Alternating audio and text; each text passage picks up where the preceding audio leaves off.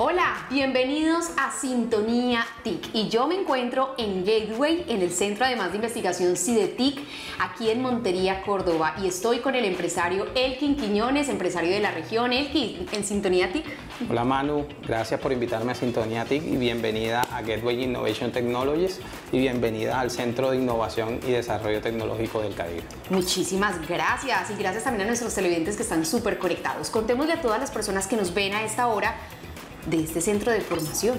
Yo era profesor y estaba viendo de que este tema de la última tecnología de inteligencia artificial, de robótica, de transformación digital, le hacía falta a las empresas y también le hacía falta al gobierno. Entonces, ¿cómo conectamos, cierto, a la universidad, a la empresa, al Estado y a la sociedad civil con tecnología? Pero tecnología de último nivel, de cuarta revolución industrial y quinta revolución industrial, para que realmente haga disrupción en el departamento y el departamento mejore su competitividad. Muy bien, aquí manejan tres líneas de investigación. Contémosle también a las personas que nos están viendo de qué tratan. Bueno, la primera línea de investigación es adopción de tecnologías de cuarta y quinta revolución industrial. Guiar a las empresas del departamento a que usen estas tecnologías de cuarta revolución industrial. Dos, inteligencia artificial. Esa es la apuesta. En estos momentos necesitamos mejorar la productividad, necesitamos acelerar al departamento, necesitamos acelerar las empresas y al gobierno. Y la última es formulación de proyectos de ciencia, tecnología e innovación. Muy bien, ¿cómo han implementado la inteligencia artificial aquí en la empresa?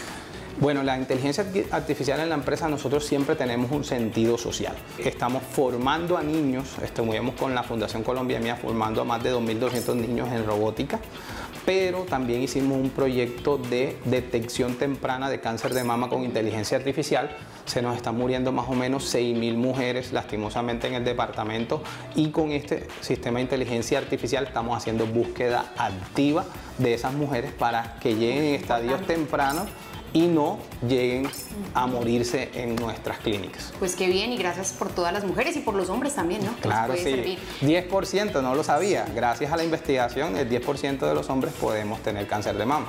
Muy bien. Bueno, Elkin, hablemos entonces de estos aparatos que vemos acá. Yo unos robots, un dron. ¿Para qué sirven? Bueno, empezamos con este. Sí, los este. drones, exactamente. Estos drones estamos haciendo formación, estamos uniéndonos con las universidades para hacer formación, para que empiecen con estas tecnologías y su creatividad a solucionar los problemas que ellos quieren. Es, realmente ponemos a los, a los muchachos a crear y ellos los pusieron a, caminar como, como caballo fino, mm. Los ponen a seguir guías, los ponen a batallar, los ponen a hacer ejercicio, o sea, la creatividad de ellos, pero lo para que quieran. lo que quieran. Lo pueden programar Realmente es para que ellos busquen soluciones. Y esto ya nos vamos un poco más profesionales, ¿cierto? Aquí estamos haciendo ganadería de precisión y agricultura de precisión con este, este dron, que es un dron profesional, es un Mavic eh, multiespectral y con este Mavic multiespectral hacemos fotogrametría, pero hacemos agricultura de precisión y nosotros somos un departamento agro. Muy bien, ¿y este? Este es informática educativa, este es ármalo como tú quieras y aquí sí, eh, este es, para, este es más de juego, se ponen ellos a hacer batalla de drones, guía y en estos momentos precisamente el 4 de abril tenemos un concurso donde el que gane en batallas o el que haga algo más innovador le vamos a dar premios en efectivo, suéteres, drones regalados de parte del Centro de Investigación y de Gateway. Bueno, ¿por qué apostarle al desarrollo e innovación tecnológico acá en Córdoba? Córdoba necesita innovación. Córdoba, lastimosamente, estamos entre los últimos 10 departamentos en innovación. Estamos muy mal.